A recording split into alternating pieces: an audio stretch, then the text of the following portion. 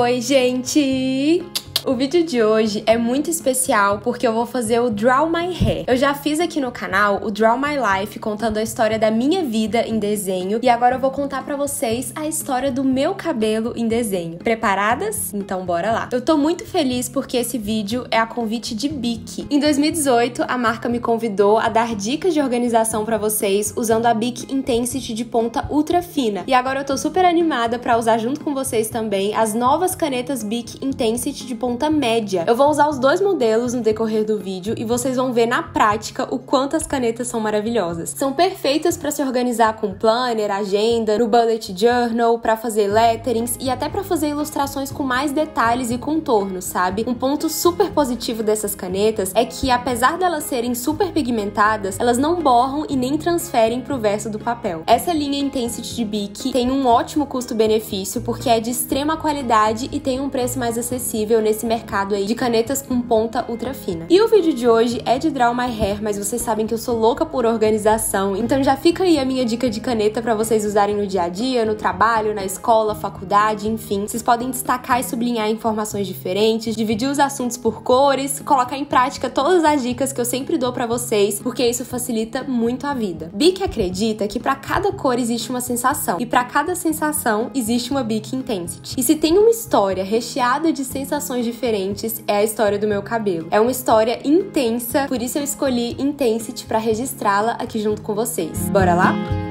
Para começar, não tem como não falar dos meus pais, né? A minha mãe tem o cabelo ondulado e o meu pai tem o cabelo crespo. Então, eu nasci com o cabelo cacheado a crespo, né? Uma mistura aí das duas curvaturas. Quando eu era bebê, o meu cabelo não formava tanto cachinho assim ainda, mas aí quando eu comecei a crescer um pouquinho mais, lá pros meus três anos, os cachinhos começaram a aparecer mais. E assim, gente, na época da infância, mais novinha mesmo, eu não ligava tanto assim pro cabelo, porque criança meio que só quer brincar, né? E não liga muito para essas coisas. Mas eu lembro que a gente não sabia cuidar muito bem do meu cabelo, sabe? Na época não tinha tanta informação quanto tem hoje, não tinha tanta variedade de produtos, de técnicas, então a gente fazia mais rabo de cavalo no meu cabelo. Eu ia pra escola com aquele rabo de cavalo bem apertado, a gente amarrava o meu cabelo molhado, eu molhava o meu cabelo praticamente todos os dias, passava creme, e eu lembro que no decorrer do dia os fios iam soltando e eu chegava em casa com o cabelo todo bagunçado. Eu lembro também que quando eu usava o cabelo solto, a gente não sabia finalizar, né? Então a gente usava pouquinho produto, aí o cabelo secava com muito volume, meio sem forma mesmo, sabe? E eu lembro que se eu fosse brincar no pula-pula ou em alguma outra coisa também, eu terminava a brincadeira com o cabelo parecendo uma nuvem e eu já ia logo prender. Então eu usava o meu cabelo solto pouquíssimas vezes. Eu via as meninas de cabelo liso usando o cabelo solto e eu achava muito legal. Mas é engraçado porque eu achava que eu nunca conseguiria usar o meu cabelo solto. E aí eu fui crescendo um pouco mais e foi vindo uma vontade vontade de alisar o cabelo ou fazer algo para diminuir o volume. Mas minha mãe não deixava. Ela sempre falava: "Não, deixa seu cabelo natural, ele é lindo". Ela sempre tentava me animar. Mas é aquela coisa, né, gente? Mesmo minha mãe falando,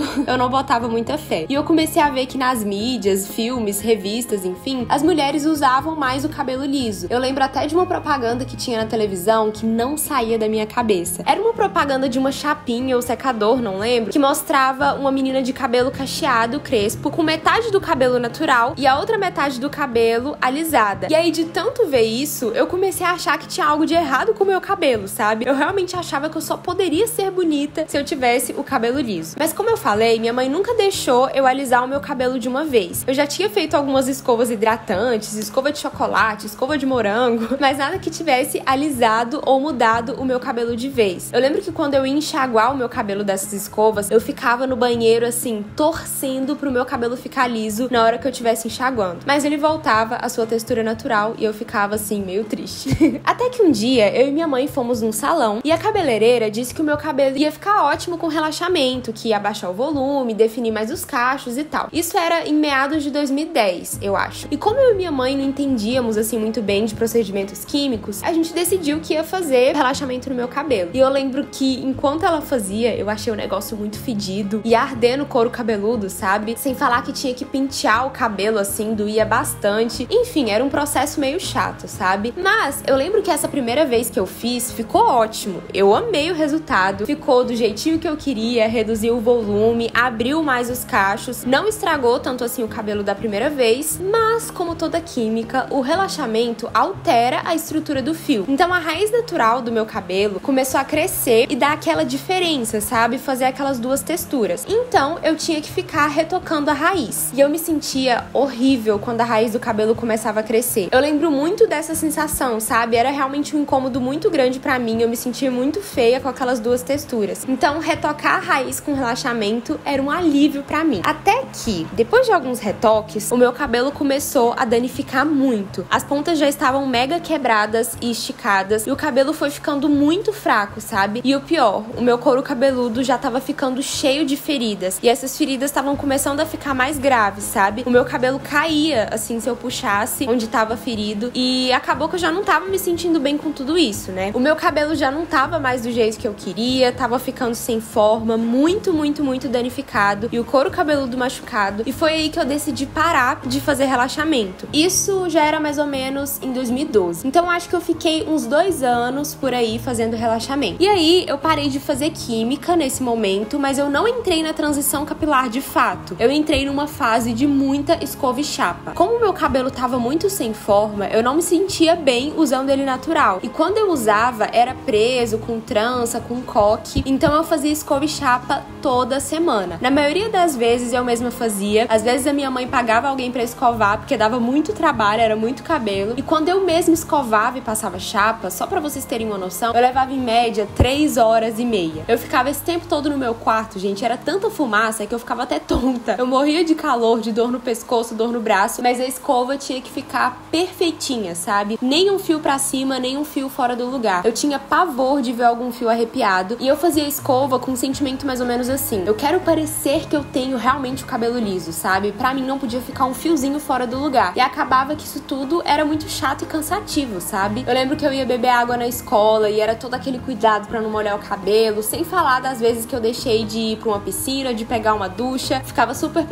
com a chuva, enfim. Eu lembro também que nessa época eu fazia algumas selagens, botox, algumas químicas assim, sem ser relaxamento, mas que deixavam o cabelo menos cacheado, né, com menos volume, para ele ficar mais fácil de escovar e passar chapa. E aí, como meu cabelo tava muito danificado por causa de muita chapinha, eu tinha que cortar as pontas sempre. Então, o meu cabelo foi ficando mais curto aos poucos. E essa fase foi uma fase bem complicada, sabe? Eu tava naquela fase da adolescência que já é um turbilhão de sentimentos, um turbilhão de sensações e ainda tinha toda essa questão do cabelo que já me incomodava muito. Dava muito trabalho lidar com o meu cabelo assim, ele tava muito danificado, eu gastava muito tempo e o pior de tudo, eu não me sentia bem. E é isso que eu sempre falo, né? O problema não é você escovar o seu cabelo, né? Tantas meninas escovam, passam chapa e se sentem bem. A questão é que eu realmente não conseguia me achar bonita de forma alguma. Era algo que realmente me deixava mal. Isso foi fazendo a minha autoestima ir lá embaixo. E aí eu fui me tornando uma menina meio tristinha, sabe? Eu fui me fechando aos poucos, me tornando muito insegura, muito sensível a tudo. E aí foi também nessa fase que eu criei o blog Apenas Ana e comecei a minha jornada aqui na internet. O blog me ajudava muito, pois era o meu refúgio, sabe? Era um lugar onde eu conseguia expressar melhor todas as minhas sensações, meus sentimentos e, claro, compartilhar dicas com vocês. E teve um dia que foi um divisor de águas na minha vida. Eu tava indo pro aniversário de uma amiga muito querida e quando eu tava no portão da minha casa, já indo pro aniversário, eu voltei para trás e não quis sair de jeito nenhum. Eu entrei para dentro do meu quarto e eu chorava muito. Eu lembro que eu tava me sentindo horrível por causa do meu cabelo. Eu não tinha tido tempo de escovar ele nesse dia e eu lembro de me perguntar o porquê de eu ter feito tudo isso no meu cabelo. Eu lembro de olhar no espelho e me sentir muito arrependida de ter estragado tanto meu cabelo, eu não sabia muito o que fazer. Naquele momento, a minha mãe foi conversar comigo. A conversa dela foi muito importante para mim. Ela me disse que a situação que eu tava passando não era o fim do mundo, que tinham pessoas que passavam por problemas muito piores que os meus e que a gente ia passar por isso juntas, que ela iria me ajudar, que a gente ia encontrar um creme que desse certo no meu cabelo, enfim. Ela me deu força total e isso me deu um ânimo, sabe? E a conversa que ela teve comigo aquele dia é o que eu tento fazer com vocês aqui na internet. Tirar vocês muitas vezes de um lugar de tristeza, né, de insatisfação e confusão que muitos de vocês se encontram, seja em relação ao cabelo ou qualquer outra coisa, e mostrar que vocês são capazes de irem muito muito além. E naquele momento eu iniciei o meu processo de transição capilar, meio que sem saber. Eu dei uma pausa nas químicas de vez e fui diminuindo a frequência da escova e chapa. Isso era mais ou menos no final de 2013. Mas foi em fevereiro de 2014 que eu descobri o nome transição capilar. E eu lembro que eu comecei a pesquisar mais sobre o assunto, descobri um grupo no Facebook sobre isso, trocava várias dicas, aprendia muita coisa e isso estava me ajudando muito. E aí eu pensei, ah, já que eu tenho um blog, já que eu tô passando por essa tal de transição, eu vou começar a compartilhar esse processo por lá. Vai que eu consigo ajudar e inspirar alguém, trocar dicas, enfim. E aí eu dei início ao projeto Voltando aos Cachos. Eu comecei a compartilhar todas as minhas dicas, truques, receitinhas, penteados, produtos, enfim. E em agosto do mesmo ano eu fiz o Big Shop, que significa grande corte, que é o corte para retirar toda a química do cabelo e deixar somente a parte natural. Meu cabelo ficou bem curtinho. No início eu fiquei insegura, sabe, com medo de ser criticada, mas logo passou o medo e eu me senti super bem. Finalmente estar com o cabelo 100% natural foi uma sensação muito gostosa, sabe? E falando sobre críticas, sim, tiveram muitas. Desde sempre eu recebi críticas e comentários negativos sobre o meu cabelo e no início isso me deixava mal, mas depois eu nem ligava. A gente precisa ter foco onde a gente quer chegar. E eu focava muito no final da transição, sabe? Em querer crescer, amadurecer. E eu fui aprendendo a lidar com as críticas de forma mais paciente, aprendendo a ser até mais gentil e ensinar aquelas pessoas que não entendiam o que, que era transição. Hoje a hashtag Voltando aos Cachos já tem mais de 400 mil publicações no Instagram. E na época eu nunca nem imaginei que eu alcançaria tanta gente. E foi realmente através da minha transição capilar que eu alcancei a maioria de vocês que me seguem. E mesmo que muitos de vocês também não tenham chegado aqui por causa da transição, eu acho que eu nem estaria aqui na internet se eu não tivesse passado por isso, sabe? Porque foi algo que refletiu na minha vida como um todo. Tudo mudou, eu mudei e o meu trabalho aqui na internet floresceu e deu frutos através dessa mudança. Eu sou muito grata por tudo. Hoje eu lembro daquela pergunta que eu fiz anos atrás, né, me questionando o porquê disso tudo, chorando de frente pro espelho. E hoje eu vejo que eu recebi uma resposta muito mais generosa e especial do que eu mereço, sabe? Vocês são a minha resposta. Ver que eu posso mudar a vida de vocês e não só o cabelo através do meu trabalho aqui na internet é algo muito valioso e eu sou muito, muito grata por isso. A sensação que eu tenho com o meu cabelo hoje é de leveza e alegria, sabe? Poder usar ele cacheado, com penteados, acessórios e até fazer uma escova para mudar o visual e ainda assim me sentir bem, não tem preço. Não tem nada melhor do que a gente buscar ser a nossa melhor versão dia após dia, fazendo com que esse caminho seja leve, belo, verdadeiro, bom e feliz. E a sua história com seu cabelo, como que é? Também é intensa, cheia de sensações? Me conta tudo aqui nos comentários e eu te desafio a registrar a sua história também com Bic Intensity e nos marcar nas redes sociais para que a gente possa ver. Um beijo,